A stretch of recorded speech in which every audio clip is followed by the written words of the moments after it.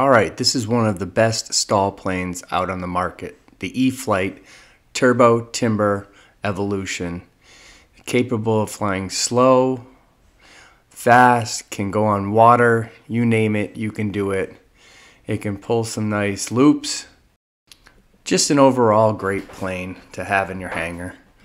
The one issue I have is I'm a terrible lander of this plane. You'll see right now how bad I am. I always am nose heavy. I don't have this problem with most planes, but this plane, I always do this.